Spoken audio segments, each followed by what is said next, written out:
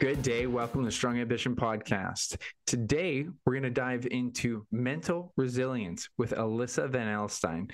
Now, Alyssa went to university with me way back in the day, and I didn't know her very well back then, but I remember seeing her in the classes. And then later on, I would run into her as she married one of my friends from university, Jace.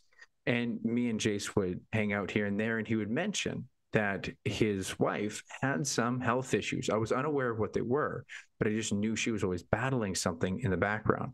And then today we got to sync up and have an amazing conversation about her incredible journey. She had more health issues than I had any idea. And she has an amazing mindset that pulled her through it. So today she's going to take you on a journey and explain to you what she had to go through and the mindset that she had to be able to overcome it and how she's able to help her clients and business utilize better mindsets.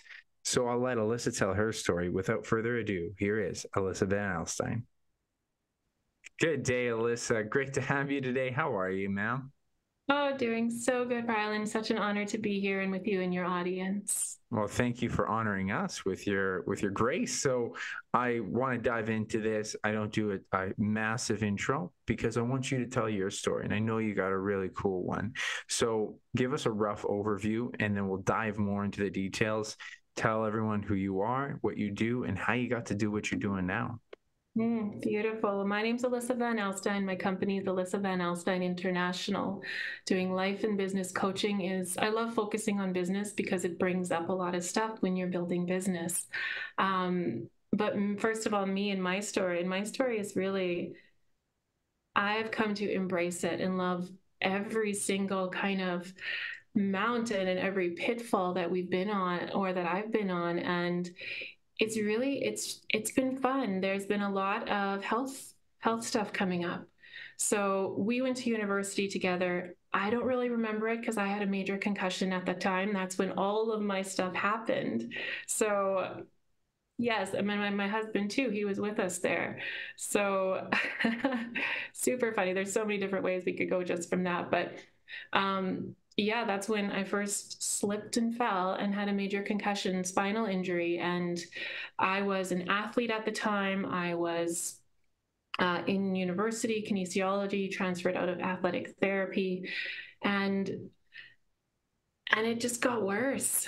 And it was really, really amazing in that experience because I was young and healthy. Like I was super healthy and I was always on top of my exercise. I was on top of my nutrition, and I had big goals. Like I wanted to go into personal training and brand my own business and do promo modeling and fitness modeling. That's what my original route was, and also dabbling into medicine too, just you know, to do all the things. And after I got hurt, I remember that night and it was, I was in so much pain after that slip and fall, like everything in my body. And it was just like screaming at me, like something's wrong. And fast forwarding the next few weeks just from that injury was, um, I, I had major memory problems. I I went from being fit and healthy and strong to barely being able to get out of bed, to barely being able to lift a tray. I was doing, I'm serving at the time, uh, restaurant serving to to supplement my um, uh, my income for school and university, and I could barely do that. I could barely walk, and there were so many things, and it just it got a little better, and then it just kept getting worse. So fast forwarding that. Um, it's kind of funny. It was um, a year after that initial fall. It was, uh, I remember testing out mattresses because I was getting a new bed and lying down and not being able to get up. It was literally, I think at that time too, it was the the funny thing, oh, I've fallen and I can't get up. But that was me. That was my life. Like I didn't have any strength and I had major pain just all the time. So that really impacted me because my identity at the time was wrapped up in my academic. Like I was top in my school academically, I was top in my school athletically. Um, so I was getting hit on kind of all those levels. Like I didn't have a memory anymore. I was pretty slow in in my mental functioning. I I lost my physical abilities. So that was kind of the start of my unwinding process and then fast forwarding to 2015, I went to um, Germany for spinal surgery because it was degenerative disc disease. I had shrunk about almost a full inch in height just with the compression on on that disc, and it was it was a dead disc. Like if you look at my MRIs, it was like a pancake and it was black. like it it wasn't good. so yeah, there was there was so much in that and the way that it just affected everything. Um, and I, I told my doctors and everyone at the time, like, it feels like my head is shrinking into my body. And that's literally what it felt like. I'm just like, why is my head feeling so low? Like my neck is getting compressed. Um, so that was the explanation. So flying out there and having major surgery and their health facilities, they're just amazing out there. Like they have top notch facilities. It's really beautiful. And from there, like it was like a second lease on life.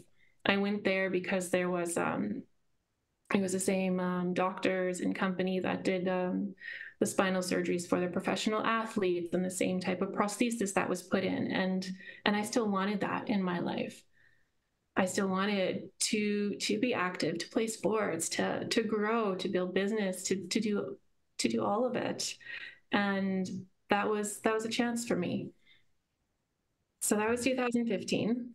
I don't know if you want to interject at all. no, you know, this is already really good. I love how this is developing. I know that I didn't realize that you had that impact in in universities. We did go to university together and I just want to add to I know someone else that was like that and and just how traumatic that is. And I the f- biggest thing that hit me was when I was experiencing mild concussions and I had one where I forgot my whole day and that was the worst concussion I ever had. And having that one time was so terrifying for my identity. And just when you start as a boxer, you're like, I'll take on anyone. You know, you just like, you want to think you'd be a champion of the world. Every really ambitious boxer starts that way. And then you finally realize you're human and just one shot can completely change your life. And I mm-hmm. had many other like minor concussions compared to that one, but once you can lose your memory, you realize you can lose your identity and how vulnerable you are. And so I can't imagine the frustration. I had a, a, a friend from work. Um, mm-hmm. she was in the kin program after us, and she was uh, she dealt with a concussion that would give her constant headaches, constant every day. And when I knew her, and I knew my mom had dealt with some head trauma from being a kid, and it, it just made me realize like maybe I don't need a box anymore. You know, it's like, why am I asking for this voluntary head trauma when it's some people are just battling it? So I'd love to hear how you keep going with this because this is huge. Like you're going through what should be your personal self development in business and in life, and you're yeah. literally being crushed by it. So, how did it move forward from here? Yeah, so I love that, and I love also the um, your take on the experience of it right? Even if it was like just shorter term and and just the light bulb moment too of what am i actually doing to my body right? What are the actual goals? And it can be invigorating for for boxing. Like i'd love to start kickboxing and all that but with protective headgear and yes. away absolutely. Um, but yeah but just but love that experience that you got to have and and that you really honor the people around you because there's an understanding now of whoa, like you're losing or like a little bit of brain damage or you're losing part of your identity. And that got me curious too about what is my identity. So we can we can hop into that later. Um, I'll I'll continue the story, but um, yeah, around the time that was um, 2010 when I had that initial injury, and at that time too, because I still had pain, they gave me um chronic or they yeah gave me chronic pain, chronic fatigue, fibromyalgia diagnosis as well onto onto my chart. And I was I was sure I'm just like no no it's my nerves. There's something going on with my nerves. Um, but fast forward now to Germany. So after that, it was like a fresh lease on life. Like I switched out of the hospitality industry. I entered into um, life insurance sales with a really beautiful company and I excelled right away. And it was like I exercised, I was back in the gym, I could function, I could work, like I learned, I excelled. I was right, I was top five in my company in North America um, by month five of being with that company.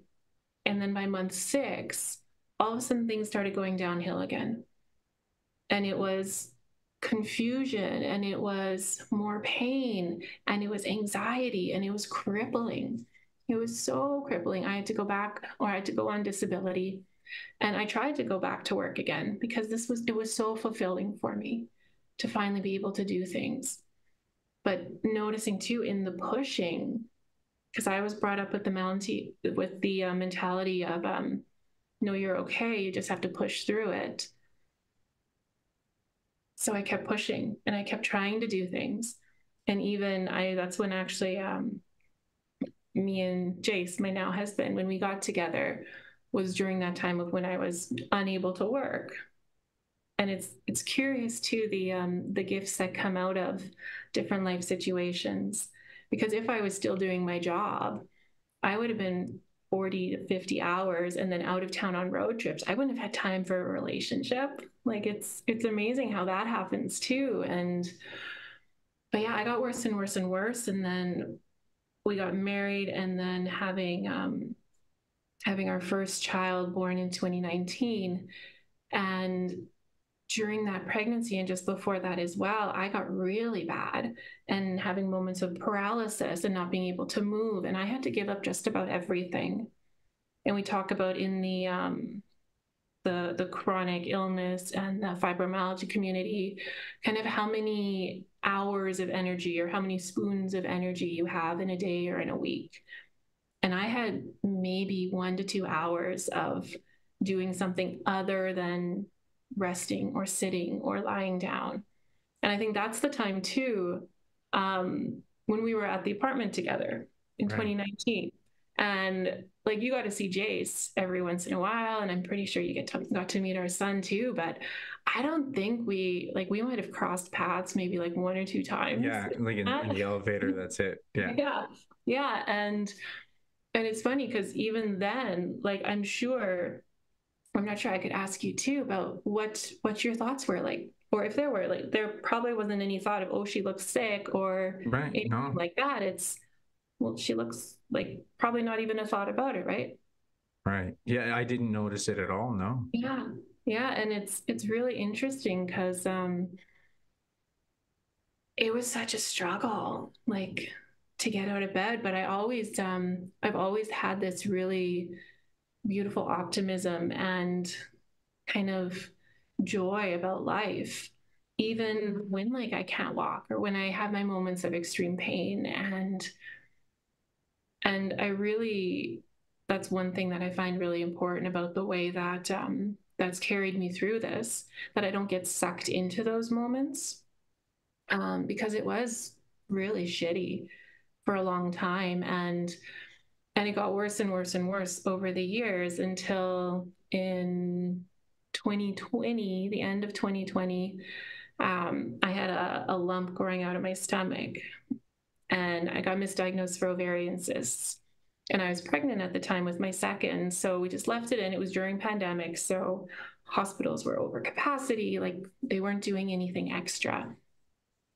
And then coming to um, after I gave birth, beginning of 2021, uh, near the end of summer, I had a follow up appointment. And by this time, I was in consistent agony, like every day, agony, like paralysis moments hit. And and I needed help so bad. And I actually, we had to move when we moved out of the apartment, we moved to Steinbach, where my parents lived, because I needed them over every day to help because I couldn't even, with my newborn child, I couldn't nurse her. I couldn't lift her or transfer or do diapers or watch my other children. I needed help pretty consistently. So I went into the doctor. I remember this visit very clearly. And she told me right at the beginning, just so you know, the hospitals aren't letting us do any surgeries unless it's really bad. So I just want to warn you about that. And she, about two minutes later, she said, I have to go make a phone call. And I was scheduled for surgery two days later. So it was big it was bad and i remember too going under the knife and coming out and I, i'm a bit of a i'm a little cheeky i'm a little bit of a jokester and i look at the nurse next to me and i said did you get it all because i'm like oh my goodness finally and she said no honey it's still in there wow And I was like, I was, I was being silly. Are you being silly? so, no. So it turns out that the prosthesis that I had put in in 2015 was infected.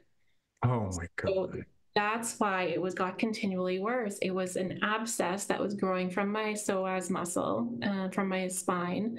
It was sticking out of my stomach. So it, it was very big.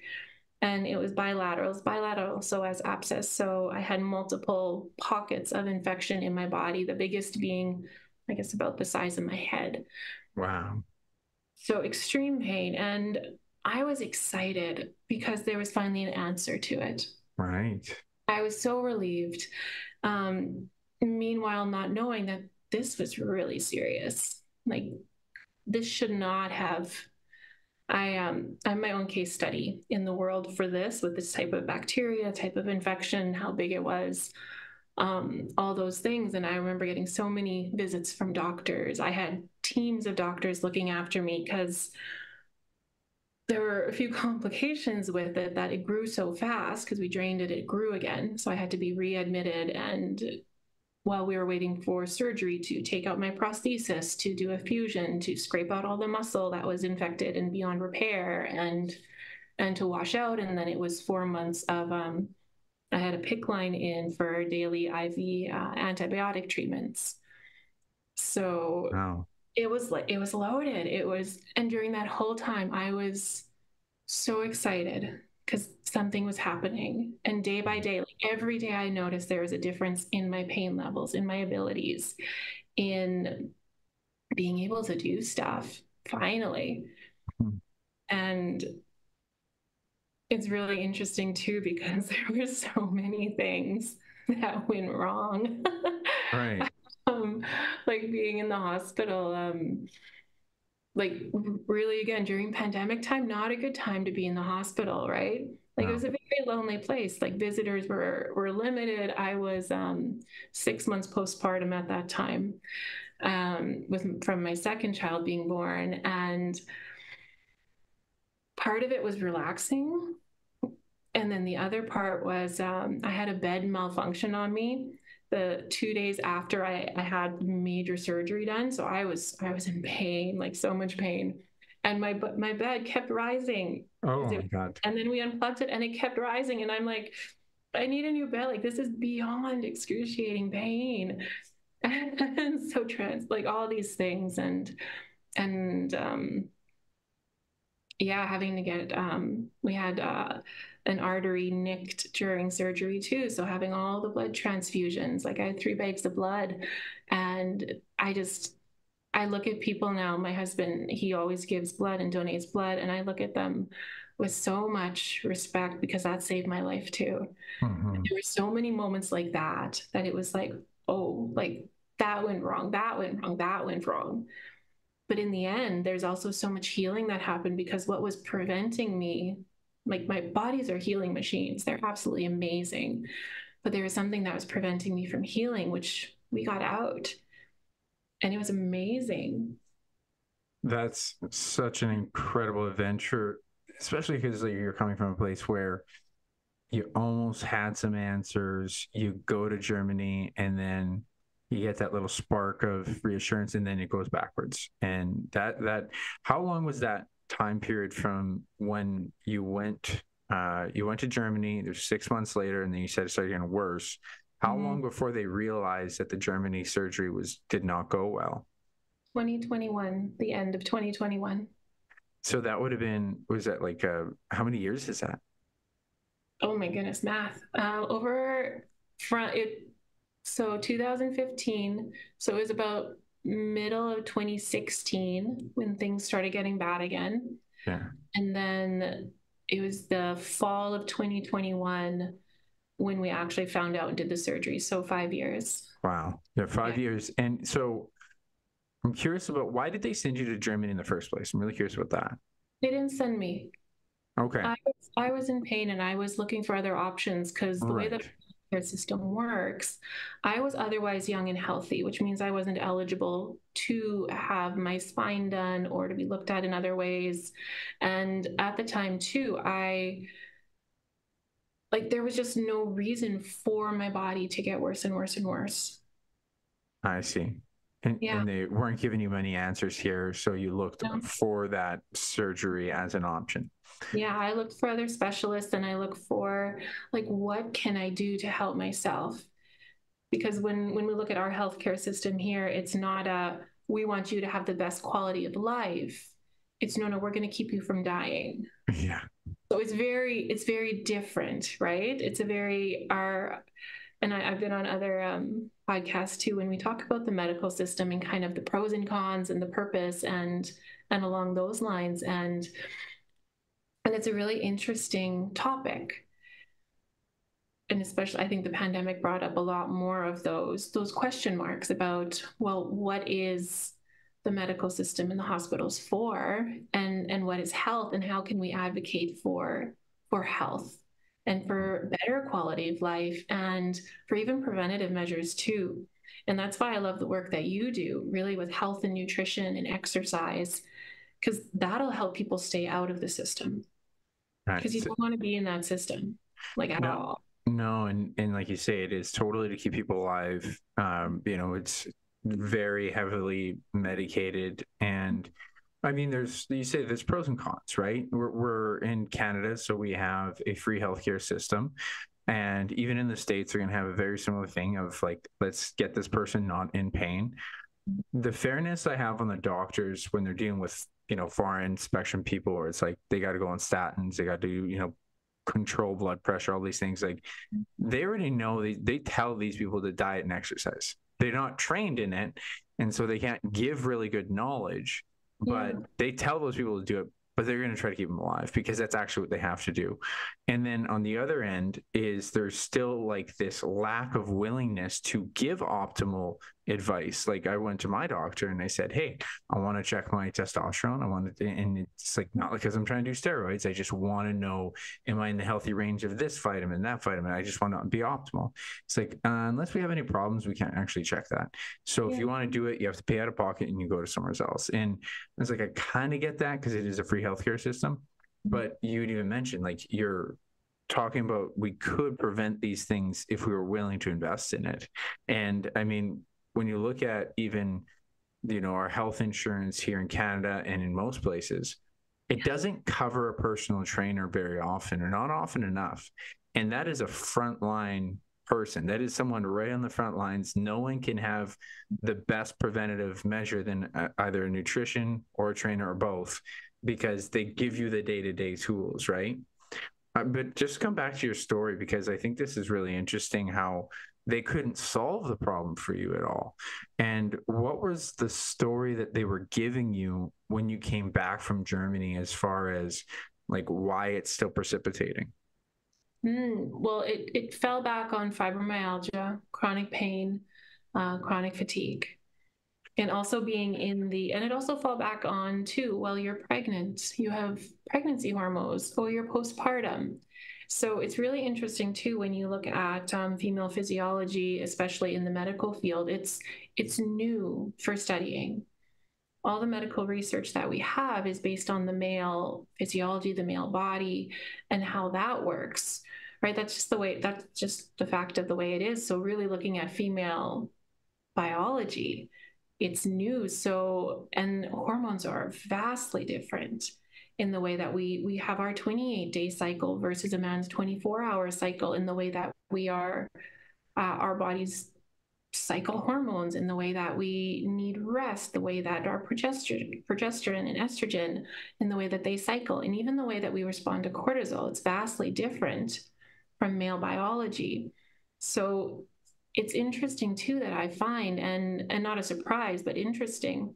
And I love that more of um, more research is heading in this direction of of looking at females and and the differences because there's also this statistic there in the research showing that um, 80% of females will be diagnosed with an autoimmune disorder. Wow. Yeah, and this isn't surprising knowing that autoimmunity is based on hormones and the way that your body relates in that way. And also, given pregnancy and what the body goes through there, um, and the extreme situations of the internal kind of system. Um, but it, it is an area for study. Like there's so many different fascinations and curiosities in that. And knowing too the way that I've studied too, and um, I, I, also was recently diagnosed with an autoimmune condition, uh, so we can touch on that too because there's more to the story. but um, yeah, it was um, it was lots of we don't know, but covered in blanket diagnoses of fibro or chronic fatigue or chronic illness, which doesn't mean anything. It's pretty much just saying we don't know and we're not willing to look further. Wow. That's that's oh. so sad that they just say that we're not willing to look farther. Yeah. Were they just providing you with an, any pain management, any other things to kind of look at or to help you work through life? Well, that that's interesting. I saw so many specialists as well. I saw rheumatologists and um, neurologists and lots of ologists in there. And i remember too even my uh, my surgery team which was uh, they were absolutely amazing in in what they did for my body but new symptoms coming up and me bringing it to their attention. Like even like half my face went numb and my blood pressure dropped. And this was the like within 24 hours after my my major surgery. And pardon me, um, me bringing it to to the team to the question, and they were saying, "Well, that's not our department." And I mean, you just ripped me open and did a nine-hour surgery on me, and then my face went numb and my blood pressure dropped. Yes, this is your department. So get that being on the list again, and I'm still on a wait list. I've been on a wait list now for seven or eight months to see a different neurologist to get a second opinion or or look into it. So it's um it's a frustrating system for sure. And and also though giving the realization too that it's not a system for health. Right. Right? Not a system for health. It's to prevent people from from dying. It's to to do the surgeries right? It's to to do that. And i i don't know if you're familiar with um, dr mark hyman dr zach bush um, mm-hmm. more of the mm-hmm. functional doctors. And in their their research and their expertise, they were saying, I, don't quote me for sure on the number because it's either 70 or 80 percent. Um, but they were saying that 70 to 80 percent of people who go to hospitals who see doctors now they don't need to. They just need to do things differently with their nutrition and with their exercise, and also with their inner work. Right. Because this is where it comes in with the stress levels, right? With the internal dialogue, with how we are to ourselves and how we treat ourselves, which adds to this dis-ease, right? Feelings of disease. And that's chronically where a lot of things stem from. I think that's a very fair number when it comes to most of the issues when it comes to health are due to poor poor diet, like are due to being overweight. You know, uh, you're looking at ridiculous numbers coming out of the states where it's like 60 to 70 percent. You're talking about the majority of the United States is obese or overweight, mm-hmm. and the obese number is driving up fast, and we're right behind them in Canada. So you already got this energy toxicity state a lot of people are in. Mm-hmm. And the food industry is just too easy for people to walk away from. And what you mentioned about inner work is so important because, you know, people really hate on diet culture. And it's just like diet culture is a problem. It's like, well, here's the thing is we haven't figured out a way to change your behaviors. And it's now a psychological issue because anyone can Google exactly what to eat to lose weight. No one wants to do it. And so now you're talking about the, the major problem isn't what you're physically doing, what you're physically eating. It's how you feel about those things routinely throughout the day and how you can make that a part of your life routinely. And there's a reason why when it comes down to like, you know, long-term weight gain, 95% of people gain it back because they don't enjoy the lifestyle. Yeah. So when you look at these uh, overarching things and problems, it's it, it makes sense as you mentioned this healthcare quote unquote system is a you know preventative de- disease system mm-hmm. and it's hearing your story is so interesting because it's it is so unique that you have all these problems you have all these doctors my girl recently got me watching Dr. House again. So this TV mm-hmm. show where he like solves all the problems. Yeah. Yeah. And a, a, part of it is like almost overwhelming and terrifying because if you're a hypochondriac, you shouldn't fucking watch that show because the, the amount of things that go wrong and you got mm-hmm. these four genius doctors bouncing ideas, bounce ideas, test this, test that, something else goes wrong. No, it's obviously written in a certain way, but I don't deny that these are close to reality in terms of like you're you're case, you're house study. Like, what's the problem? What's having this reaction? You're going to this specialist, this specialist, and the body is so complex that you have to specialize but then because you have individual specialization you won't have holistic treatment. You won't have you know discussion between groups. And this is even a problem within different trades right? If mm-hmm. a doctor were to talk to me about you know overall health they'd be oh, he's a trainer nutrition coach. It's like i'm a doctor. It's like yeah and i studied the food and the impacts that it has and the training that it has.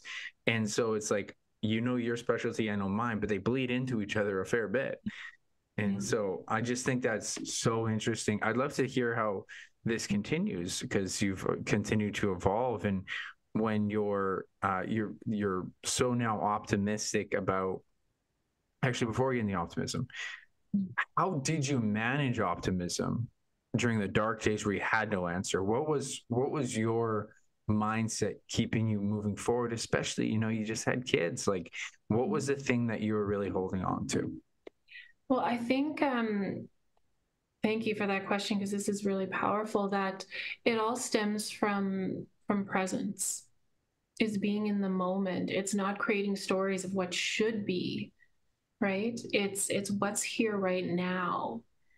Because I I study the work of Byron Katie, I use it in my practice a lot and with my clients, and it's pain is temporary, but suffering is in your mind So, what are the stories that you're believing that are creating this suffering, right? And it's the same too when we're going towards goals, when we're when we're goal setting, when it's like, well, when I achieve this, I'm going to be happy, right? Or then I'll have made it, or then I will have arrived. And it's not necessarily the goal. Like goals are great, but it's your attachment to the goal and what you think it'll give you versus you already thinking I or really realizing that I do have that. So I think that was the biggest thing. For me, it was I didn't create stories that I should be any different. And even in the moments of extreme pain where I where I couldn't move, where I was like on the ground, and I, I remember one specific one too, I could feel kind of these attacks coming on. And luckily at this time I did not have a baby yet. So, so this was before that. But I remember feeling it going on, and I always had my phone on me in case I needed help. So I always had to have it on me. And I was reaching, I was stepping towards my medication bottle because I was like, they get really bad and it helps. And I couldn't make it. I was mid stride and I was just going down, and I'm like, okay. and just being on the ground alone. And then finally calling my husband um, he was at work and I said, I can't move. I can't do anything. Can you come home? And in those moments of just being so extreme, just feeling the pain just for exactly what it is. And I'm I'm very attuned somatically to my body.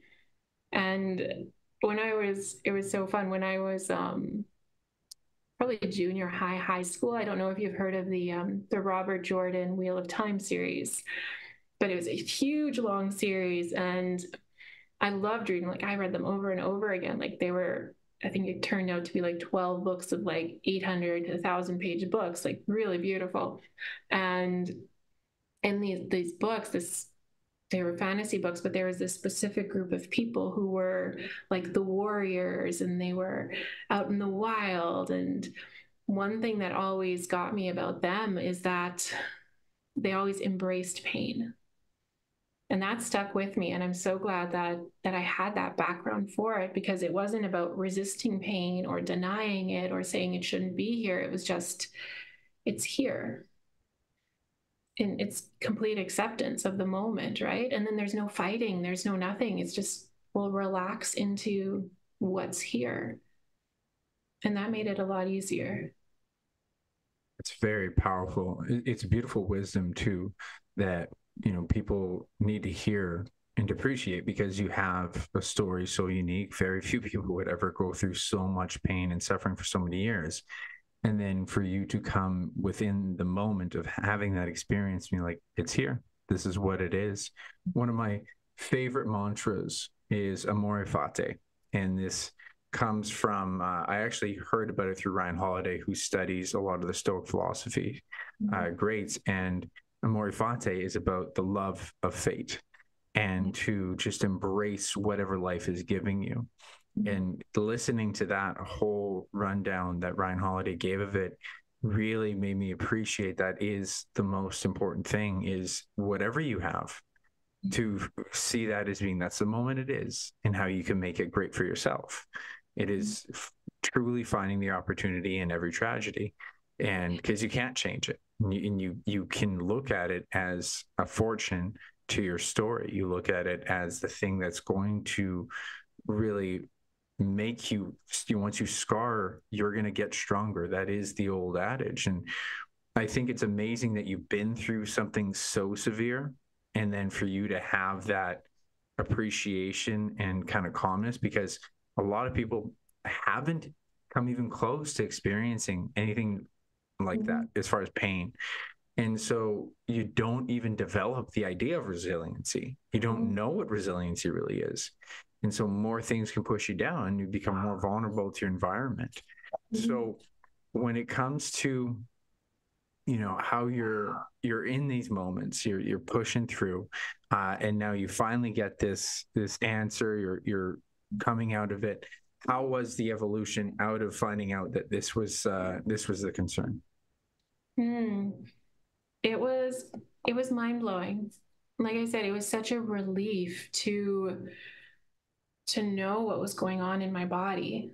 Because like i had been trying to fight for my body and that's one thing too with with learning how to trust your inner voice right? And that's a big part of the work that i do as well is learning how to trust yourself and speak for yourself because we all have a voice. It's just learning how again right uncovering the layers of why am i speaking for myself or what's stopping me.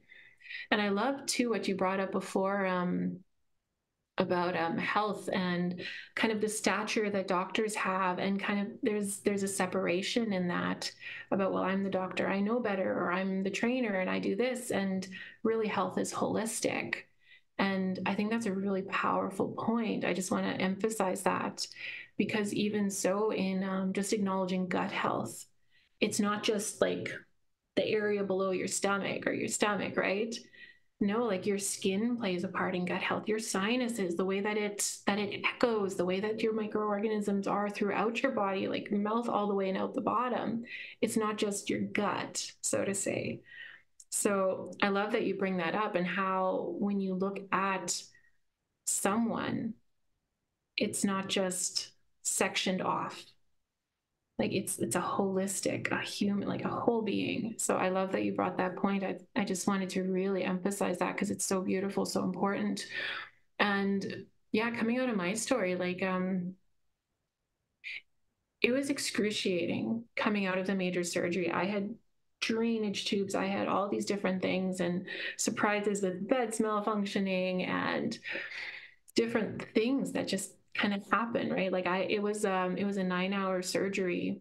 Um, and for me, what they did, they had to go in through the stomach. I have pretty massive scars on my stomach where they had to do kind of the front part of my spine. And then they had to turn me over and cut open my back uh, and do the back part of my spine. So it was like a pancake, I guess, scenario, flippy flop. Um, so yeah, I had scars in my front, in my side, in my back with staples everywhere and like muscle chunks taken out and my spine redone. And and that that was intense. And the healing from that was um excruciating to put it kindly or nicely. It was that was the most pain I've ever been in is healing from that surgery and finally getting all the tubes out and stuff after a little while and then I, I got transferred back to um, the local hospital, Steinbach. This was help, happening at um, Health Sciences, where the major surgery was. And then coming back to my local hospital after, after things had kind of settled down. And then the growth started growing again. I saw it sticking out of my stomach again. So, big surprise. And I had to be transferred back to Health Sciences and it took two two to th- i don't remember exactly two to three days till i could get in for imaging again um, waiting there. And my id doctor my infectious disease doctor came in to give me the news of the results. And he said we don't know what's happening but it's going down. So you can go home now. Wild hey? Wild. He said take it for miracle thank whatever you believe in, whatever higher power, because it's going down and we have no explanation. Wow. So, yes. Well, it's about time you got a break, to be fair, right? yeah, so absolutely amazing. Um, coming back to my home, my kids were living with my parents because my husband still had to work. And also, I couldn't have kids jumping on me. So it was a really tough time being separated. I think we did that for about 10 days after I got home just to be able to give me a break because I still I needed help all the time. Mm-hmm. I couldn't get myself out of bed. Like I, I was so weak and so in pain still. And my exercises were very minimal. It was walking with high knees around my kitchen um, island two or three times a day. That was the extent of my exercise. Mm-hmm. So going from that and then it was two months later that I went to go see my doctors in person again because we were doing phone phone call appointments. And then my doctors, when I'm walking out, because they don't see you walk in, right? You're already in the room. But walking out, I just I get up and I walk out. And my doctor stops. He says, Whoa, look at you walking. I was like, oh, was I not supposed to be? no, you weren't. Like they were thinking, paralysis was likely because it was so much work so close to my spine. And best case scenario is extreme back pain for the rest of your life. Wow. And you don't I, have any of the back have, pain? I don't have pain. Wow. I don't have pain. I'm fully functional. I can lift all three of my kids at the same time now. Like it's it's unbelievable. It really is. And there was some major points though. Um, two major point i think two major points that i really want to touch on and um, i really had to question myself because i had started working out in the next few months doing my at home like exercise videos like i was doing squats i was doing lunges i was starting to add weight. Like this is more than i've been able to do for my or with my body since 2010 so it had been 11 years since i could move my body in this type of way and and do exercises and even exert myself. Like i was sweating because i was exercising. That doesn't happen or didn't happen for so long because i couldn't get that far. So really amazing. But then i started plateauing and then pain started creeping up again. And but it was like pain in my legs and other things going on. And i was like what's going on. And this is when I started doing um, different self development courses and different coaching courses and trying to really create more of a full range because I wanted to get into building my business and different leadership opportunities and and I remember sitting down one night and actually really deeply reflecting, do I actually want to get better? Cuz this was scary. And that's what I think when we come upon when we're plateauing, in my experience, when we're when we just have to push so hard and not seeing results, not seeing things that are that we're working towards come to fruition, is because there's an unconscious or a subconscious fear. And that's what I work with with, with my clients. It's 95% of our behavior, the way that we do life is in the subconscious and unconscious realm. We only live out our, our day with 5% conscious awareness unless we are actively doing the work to uncover what's what's driving our behavior so i really had to ask myself do i actually want to get better and really look at it just honestly and it was it was really scary to think about getting better like I hadn't had a job in six years. I haven't been able to be alone with my kids. Like, I haven't been able to even keep a house or go out and socialize. And those things were scary. So I really had to to let those fears come up and really examine them and and really bring it into consciousness that yes, it was scary with the way that I was before because I couldn't do anything.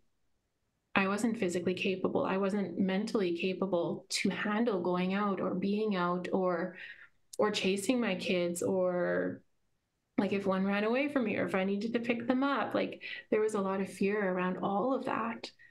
So really allowing myself to make the decision, yes, I want to get better and it's going to be okay because I'll develop my range as I grow physically and mentally and I get back to a new state, a new elevated state because what happened in the past doesn't have to happen again in the future. That's such an important question. I think so many people underestimate the power of the subconscious mind and mm-hmm. just these you nailed it from the start is like what's the story you're telling yourself when you're in pain but even when you're afraid to do something and you're not aware that you're afraid of it you're not aware of what is this internal resistance you can feel this mm-hmm. physically in you you can feel things and there's a lot of manifestation of pain in people. People can get back problems. Sometimes it, it manifests itself into even like what looks like diseases. Like it's amazing the power of mind in terms of how it can actually self sabotage. And so many people are unaware. It's just like a way that we manifest the problems. And if you can just, oh, but this is this issue, I can't do it. And it's like, is it the fear of that? Is the fear that if that's not actually an issue, you got to do the work all the time you got to actually confront this every single day. But I think on the other side of it that people are unaware of when they do have to say, hey, I you this is the work you would have to do and you're physically capable of it, is that they don't realize that you become more at ease with the work, right? You the people need to accept it's like, yes, it's going to be challenging, but that's actually the great part is you even mentioned about being in the present moment of pain, being in the present moment of a challenge. It's like that's actually the great part about it. So what was that light bulb moment like and how did you really help yourself through that kind of an emotional state? Yeah no that was that was life changing and that was that was also such great awareness because i got to let go of so much that i was holding on to. So much of the fears and so much of what was keeping me stuck. And and since then too i've um, really gone into somatic experiencing and embodiment work and emotional intelligence and really moving energy around in your body to to create more releases to create more health more homeostasis in the system from what we've been locking up. So yeah moving forward from that it was it's so funny because i um i ended up in the er with all these wild symptoms i was having. It turns out i was pregnant so after major surgery, this was six months after that major surgery, I found out I was pregnant with my third child. So again, so much fear coming up and just, oh my goodness, like, can my body handle another big thing? Right. Like it was, it was mind blowing. And then really coming, coming back internally and again and just realizing and witnessing my body is how powerful it is. And there was research that I read when I had my first that when a woman is pregnant and she's growing this baby in her, there's cells from the baby that are nourishing the mother and healing the mother at the same time. It's this really beautiful healing system. So that's what I kind of fell back on. I'm like, okay, I'm pregnant because my baby's going to help me heal and it was really powerful and really nourishing and do not recommend getting pregnant after you've got so much scar tissue in your abdomen and in your back because that that wasn't fun the way that it scar tissue doesn't stretch very well. Like it wasn't mm. it wasn't fun. It was really uncomfortable but but at the same time really just extraordinary like what the body can do. And it's still like it still amazes me the whole process of pregnancy and healing and and everything. Um so that's the year two that i went through. Um, i wanted to really elevate because i was starting my business before that. Coming out of surgery of course you want to start a business right? That's my mindset. Yeah. And and really thinking that i have all these these really powerful ahas and insights and systems, but I wanted something to go deeper, transformatively wise, and support people on a larger level. So that's the year two that I invested in a year long certification coaching program, which really focused on doing your own transformation as well, right? Because how can you help others if you haven't seen the way? Right. So, really leading to just a wealth of just release in myself and really seeing where am I? And it always comes to where am I holding myself back, right? Like when you talk to clients, it's like, well, what's your biggest challenge right now? Or what's getting in your way? And the answer is usually, well, it's me. I'm getting in my own way. It's like, okay, let's explore, right? Like, first of all, forgiving any judgments, right? Because it's not bad or anything. We're just exploring. And one thing about my practice too, and the method- methodology that I've learned is if you judge it or you identify with it, you're stuck. Absolutely. Yeah. Yeah. So really coming to this place of um, really acceptance, just kind of what I was speaking to before, right? The pain, it's here. That's it, right? There's no stories. It's it's here. We're welcoming it because it's it's serving us in some way. We might not know how or why, but all parts are here to serve. And I think that's really powerful because once you see whatever is coming up with a compassionate lens, then you can change it. Then it can transform, then it can move through if we're talking about energy, or it can release. And then it's a different playing, then it's a different game. Very powerful mindset. And something I really love to hit on is that identity piece that people have a problem with, and that's what's going to lend itself to playing a victim or to playing the role you keep playing. Mm-hmm. Every time I listen to a client, I always like that's an important red flag word. When mm-hmm. someone says, you know, I I just had to, or I just didn't have any time. There's absolutely nothing I could do. And I, I got this from Jason Brooks, and it's a red flag statement. And mm-hmm. when you hear people talking absolutes or identifying uh, framework, this is where they're just literally supporting their subconscious level of thinking with the problem behavior. I was talking to a client just recently, and he was struggling with, you know, he would eat very well during the week. And mm-hmm. then it would be at a social occasion. And then he was like feeling guilty about it. I was like, I just had to have another. And it's like, well, okay, it's okay that you had another, but do we need to have to say that you just had to? Because now you've just told your body that you had to. And that's actually, and you're like, I was just joking. Like, no, that's a very literal thing for your subconscious mind. And when you, you use any language towards ah you know i guess i'm just being a chubby guy or I, you know i'm just you know I, I just have to overeat or anything you you feel like is such an i am statement even in a joking matter is going to just continue to reinforce the behavior that you're trying to fight and it's totally different if you use a framework of just this is the action I took because it yeah. gives you an opportunity for change. It's like, mm. you know, I, I, didn't need another one, but uh, an, an, extra potato, but I did. It's like I yeah. didn't, but I did. It's just like it's very different than like I just had to, because you can identify the problem and not attach yourself to the action. Mm-hmm. I'm really big on when people try to say they have absolutely no time. It's like I there's nothing I could do. I had no time. It's like okay, that framework is never going to help you.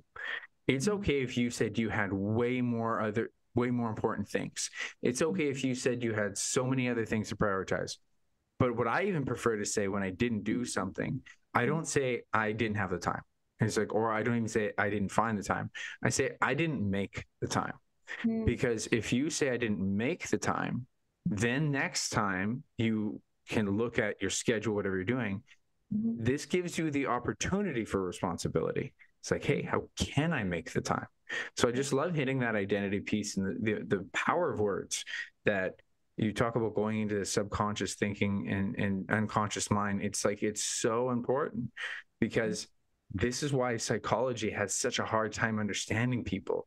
It's mm. this complete soft skill of understanding this very complex being, because as complicated as we already discovered your physiology is and all the problems you have, it is vastly more complicated on a grand scale for what we understand about psychology and emotions when we're actually coming to trying to create long-term behavior change. So I just want to hit on that. And I think that's incredible that you came on your own evolution for that. So this is what inspired you to want to help others and to want to, you know, start your own business to have their own transformation. Is that kind of how this evolved?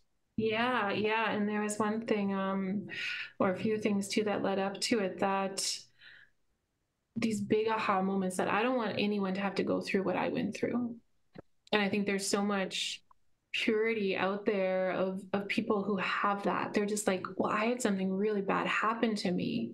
What did i learn that i can share so that others don't have to fall like that? They can use it as a stepping stone and go higher.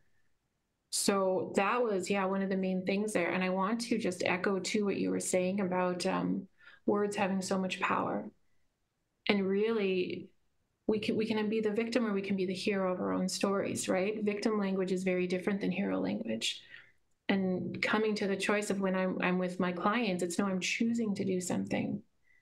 But then also when you're making those statements is what are the judgments that are coming up? Oh what i did was bad. And then we're going in a shame loop or a shame cycle because then we're stuck with it still right? We can still take responsibility but then what is our inner world like are we beating ourselves up? Are we, because that keeps us stuck in it and then we're more likely to do it again versus I ate it. I was hungry, move forward, right? Like it's it's different, right? It's like one has all this emotional tension and and we're so caught up in it and then we shame ourselves and then it goes on forever.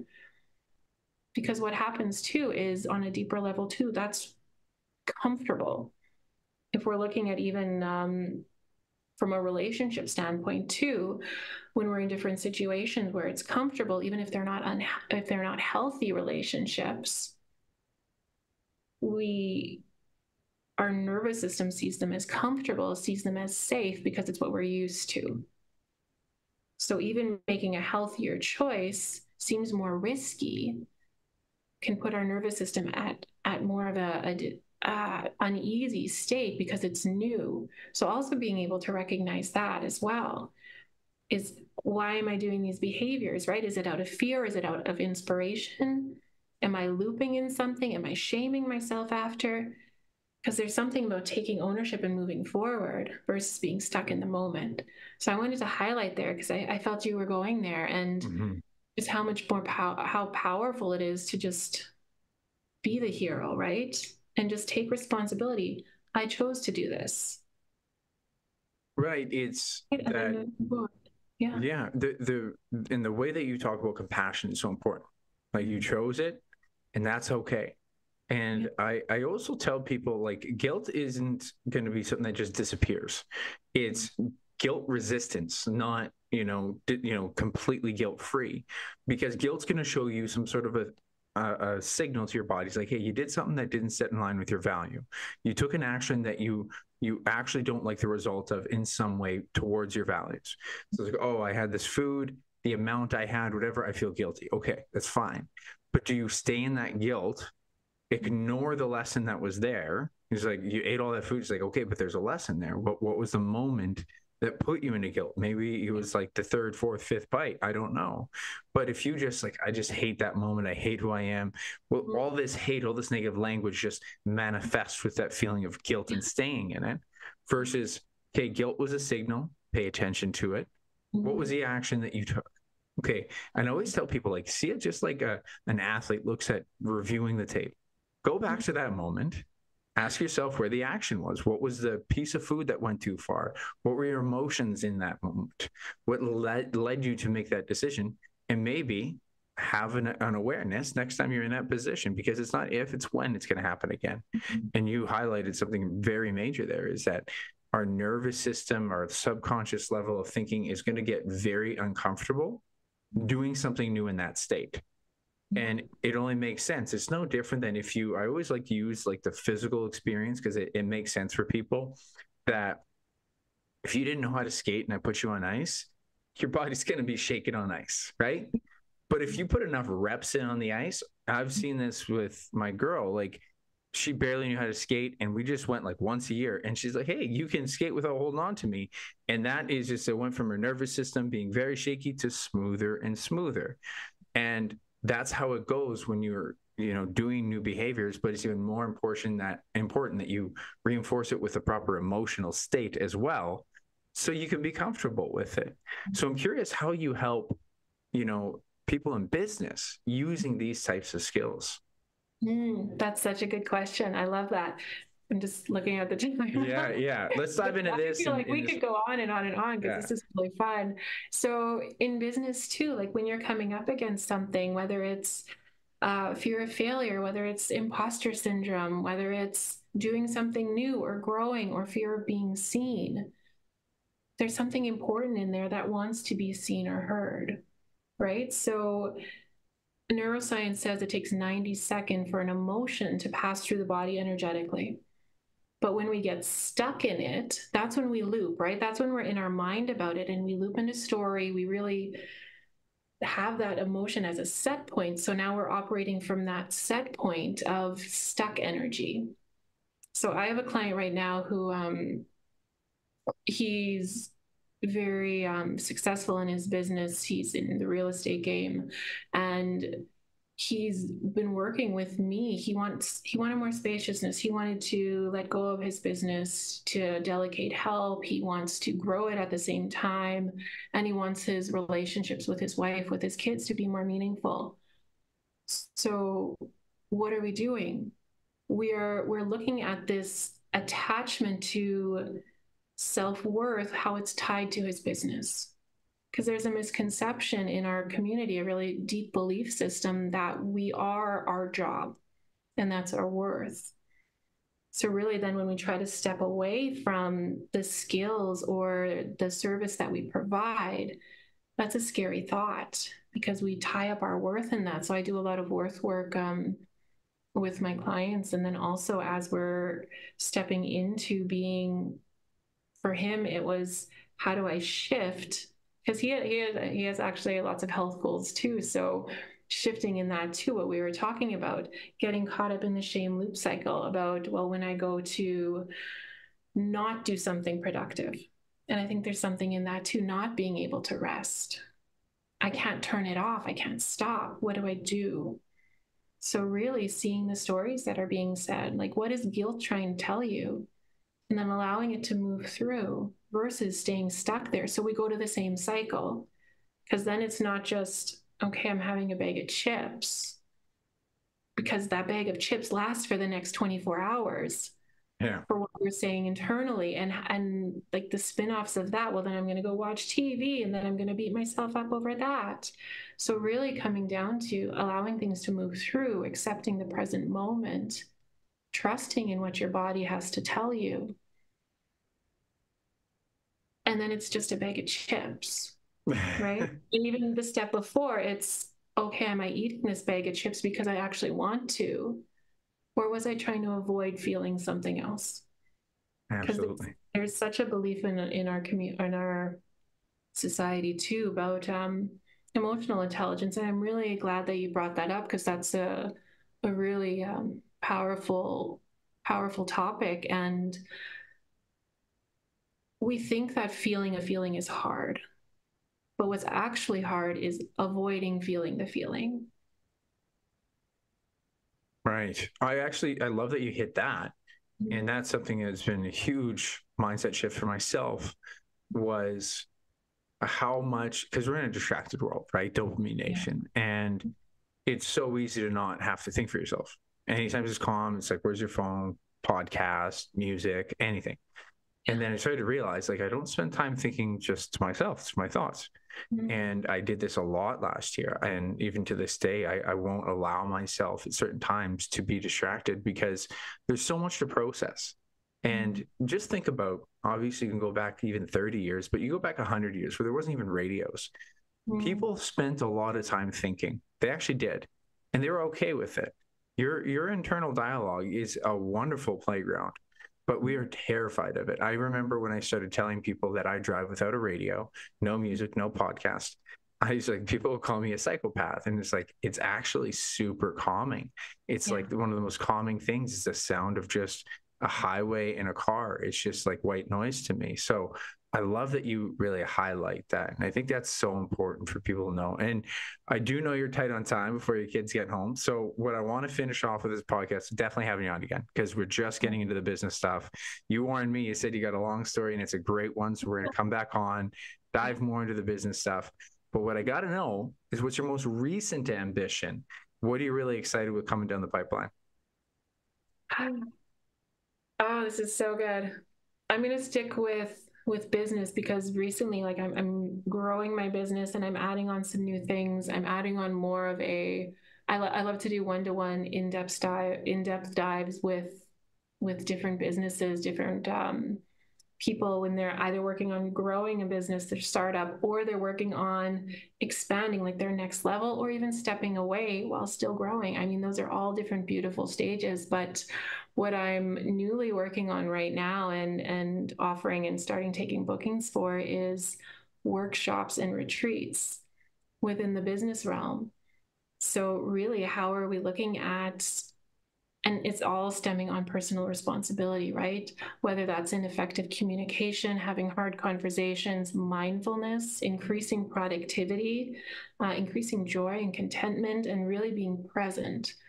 Because I think there's something to say about, um, you've probably read these books too, but um, Tim Ferriss, like four, four or five hour work week, like all these different ways about how to increase your productivity and the methods that I use too when it comes down to um, just different uh, ha- well call them hacks or whatever but but how to really access different brain states and how to be more productive and how to get into flow state and really maximize what you want to do how you want to work elevate your your team and really flow towards your goals with more efficiency and more spaciousness. So there's more connection and it's fun, right? And it's playful and we're still excelling. And yeah, so that's, I don't know if that, yeah, I think that answered your question. yeah, yeah, absolutely. I love that you're hitting on the flow state stuff because my best friend does uh, his